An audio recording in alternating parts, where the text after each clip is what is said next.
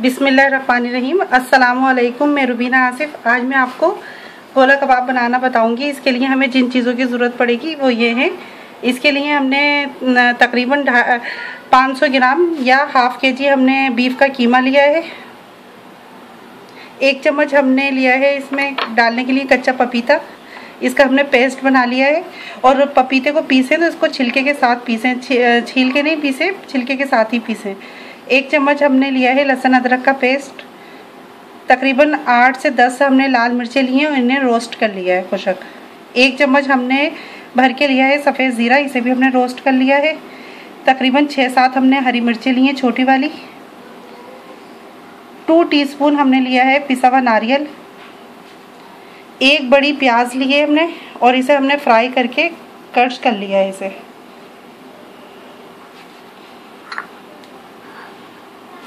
और ये मज़ीद मसाले जाएँगे। ये हमने काली मिर्चें ली हैं। तकरीबन हाफ़ टी स्पून हमने साबित काली मिर्चें ली हैं। जायफल जफत्री लिए हमने। ये हमने लिया है लौंग पेपर लिए। और ये हमने लिए कबाब चीनी। ये कबाब चीनी और बल्कि मैं इसको आपको करीब से दिखाती हूँ।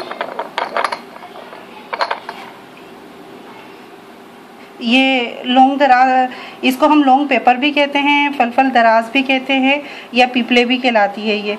ये इसके ख़ास, गोला कबाब के ये ख़ास अज्जा होते हैं, जिससे इसमें फ्लेवर पैदा होता है। और ये कबाब चीनी है, और ये है काली मिर्चें। दोनों अलग अलग चीज़ें हैं, मगर इसमें और इसका फ़र्क देखें कि ये थोड़ी सी जो कबाब चीनी है, वो थोड़ी सी चिकनी होती है और छोटी होती है। और ये काली मिर्चें इसी की जैसी ही होती हैं। तो ये दोनों ही चीज़ें जाएँगी। तकरीबन ये हमने चार से पाँच लिए कबाब चीनी और हाफ़ टी स्पून हमने ली है काली मिर्चें। और एक हमने लिया है ये लौंग पेपर। शाही ज़ीरा लिया है हमने हाफ़ टी स्पून नमक लिया है हमने पौन चम्मच हमने नमक लिया है। तकरीबन आप वन टीस्पून ले लें, यानी कि वन टीस्पून ले लें आप नमक। नमक को अपने हिसाब से कम बढ़ती कर सकते हैं। और वन टीस्पून हमने लिया है पिसा हुआ गरम मसाला। और एक चुटकी हमने लिया है फ़ूड तंदूरी कलर। ये ऑप्शनल है, अगर डालें तो डालें, वरना ना डालें, कोई मसला नहीं है। ये हमने एक चुटकी के करीब लिया है। और एक चम्मच हमें चाहिए मक्खन का। अगर मक्खन का फ्लेवर आपको अच्छा नहीं लगता हो तो फिर आप इसके जगह घी भी इस्तेमाल कर सकते हैं। मगर घी जो हम इस्तेमाल करेंगे तो वो दानेदार घी इस्तेमाल करेंगे। लिक्विड वाला इस्तेमाल नहीं करेंगे, ना चिकना इस्तेमाल करेंगे। जो दानेदार घी होता है, वो इसमें जाएगा। अब हम जो अपने ये मसाले हैं, इनको पीस लेंगे पहले। मिर्चें। साबित मिर्चें। ज़ीरा, ये भुना हुआ है। ये कबाब चीनी। ये तकरीबन पाँच दाने हमने कबाब चीनी के लिए हैं। एक हमने लौंग पेपर लिए थोड़ी सी हमने जायफल, जफतरी, दोनों चीज़ें लिए हाफ़ टी स्पून हमने लिए काली मिर्चें। और ये हमने शाही ज़ीरा लिया है, ये हाफ़ टी स्पून लिया है। इसे भी डालिएगा, इन चीज़ों से इसका फ्लेवर ज़रा खुलकर आएगा। कुछ चीज़ें ऐसी होती हैं जिससे किसी चीज़ की नुमाइंदगी होती है टेस्ट की, कि हाँ ये इसके टेस्ट को मज़ीद जो है, बेहतर बनाती हैं। अब हम इनको पीस लेंगे, इनको पीसने की ज़रूरत नहीं है, पहले ही पीसी हुई है, इनको पीस लेंगे। अब ये हमने मसाला पीस लिया है, इसमें हमने लिया था कबाब चीनी, लौंग पेपर, सफ़ेद ज़ीरा, शाही ज़ीरा इसमें हमने जो पिसा हुआ नारियल लिया था, साबित लाल मिर्चें ली थी, ये सब हमने मसाला इसे पीस लिया और इस सारे मसाले को हम इसमें गोश्त में डाल देंगे।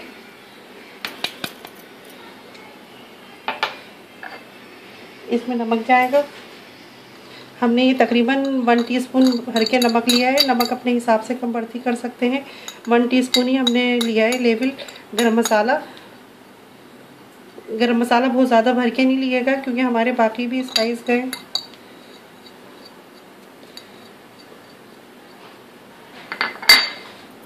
ये एक हमने ली है प्याज, इसे हमने फ्राई कर लिया था और हाथ से क्रश कर लिया इसे। अब ये बाकी इसमें गोश्त के साथ ही पिस जाएगी। इसमें कच्ची प्याज नहीं जाएगी। इसमें बहुत कम मसाले जाते हैं। ये हमने एक चम्मच भर के कच्चा पपीता लिया है। इसे हमने छिलके के साथ ही पीसा था, धो के अच्छी तरीके से। और कोशिश करें कि पानी कम से कम डालें इन चीज़ों में पीसते वक्त। और ये हमने एक चम्मच जो है अदरक लहसुन का पेस्ट लिया है।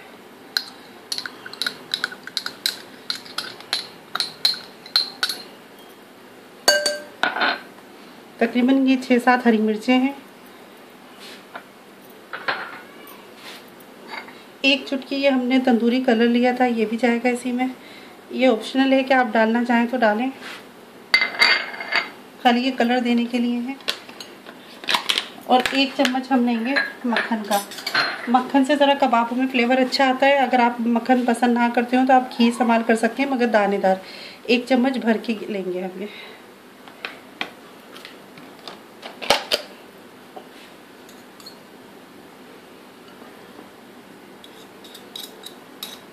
अब इसको हम पीस लेंगे, बिल्कुल फाइन पीसना है हमने, बारीकी से पीसना है। अब ये हमने अपने गोश्त को पीस लिया है और ये देखें कि कितना थिक है, कि ये पिसने के बाद कीमा इतना थिक होना चाहिए। इसे सॉफ्ट नहीं होना चाहिए, अगर आपके कीमे में पानी है और वो सॉफ्ट हो रहा है तो फिर आप इसमें ये करें कि आप इसमें एक डबल रोटी का पीस डाल के और फिर उसे पीस लें। वरना ये मैंने बगैर डबल रोटी के पीस है, मगर उसके बावजूद जो है ये इतना थिक है। अब हम इसके कबाब बनाएँगे। अब कबाब के लिए आप चाहें तो ये वुडिंग स्टिक भी इस्तेमाल कर सकते हैं, या फिर जो सी कबाब की सीखें होती हैं, आप उस पर इस्तेमाल कर लें, या आप हाथ से बना लें बारबेक्यू करना हो तो बड़ी सीखों पे लगा के कर लें इन ये गिरेंगे नहीं। अब ये इस तरह की वुडिंग स्टिक जो होती है, वो छोटी बड़ी आती है, वो आप जिस तरह भी करना चाहें तो उसमें कर सकते हैं। आप इसको, शेप हम देंगे, पहले एक को, एक शेप दे लेते हैं हम। ये मैं आपको बता रही हूँ कि आप इस तरीके से इसे, जैसे सर्विंग के लिए ये ज़रा इस तरह सही लगता है तो आप इस तरह भी कर सकते हैं। थोड़ा सा थोड़ा सा गेप दे लें बस।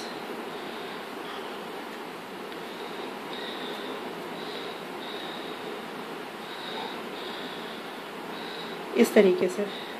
और चाहें तो खाली इस सीख पे से ए से आराम से उतार के और आप जो है जो है, इसको बना के इस तरह रख लें तो ये हम कढ़ाई में या अपने पेन में इस्तेमाल कर लेंगे इसको। बस इस तरीके से बनाते जाएँ और इस तरीके से इसे उतारते जाएँ। या फिर हाथ से करें तो हाथ से इस तरह करें। हल्का सा हाथ पे ऑयल लगा लें पहले, ताकि ये चिपके नहीं। हाथ से इस तरह करेंगे हम। कि मुट्ठी में हम लेंगे इसे।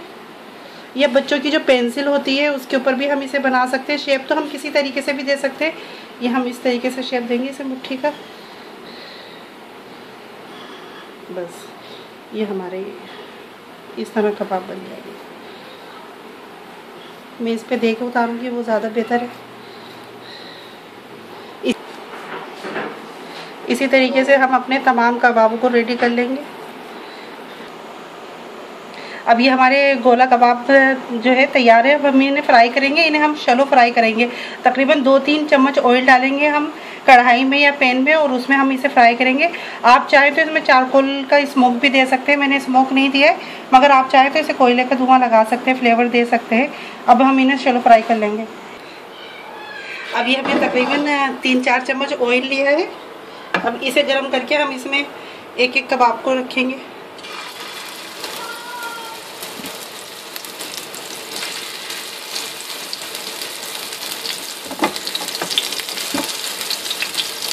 आप चाहे तो इसे बारबेक्यू भी कर सकते हैं और इसको जो है बेक भी कर सकते हैं ओवन में। ओवन में अगर हम इसे बेक करेंगे तो कम से कम इसका जो है टेम्परेचर होगा 200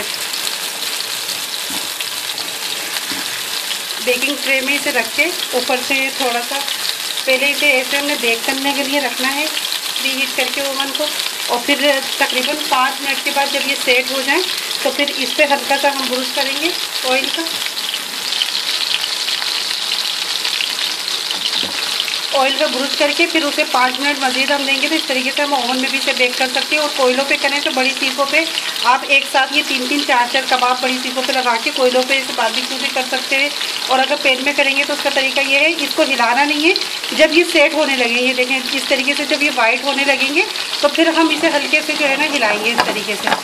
मगर अभी नहीं हिलाएँगे क्योंकि ये टूट जाएँगे। अभी ये सेट नहीं हुए, टूट सकते हैं, इसलिए अभी हम इन्हें ऐसे छोड़ देंगे और जब ये सेट हो जाएँगे, फिर इन्हें हिलाएँगे फोक के ज़रिए।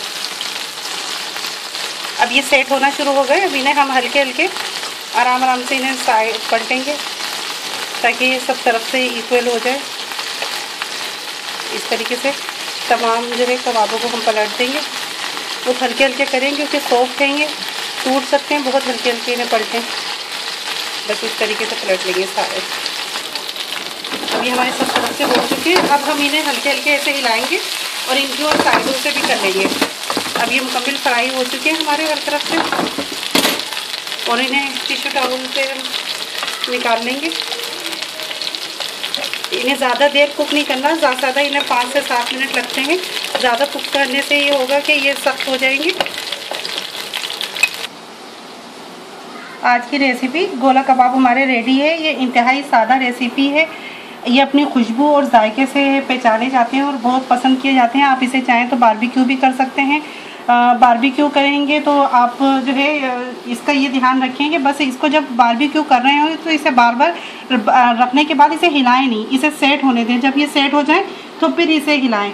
तो फिर ये अच्छे बारबेक्यू होंगे। ये तकरीबन हमने हाफ़ के जी में बनाए तो ये तकरीबन पाँच बंदों की सर्विंग बनती है और ये बीस कबाब आराम से बनेंगे इसमें।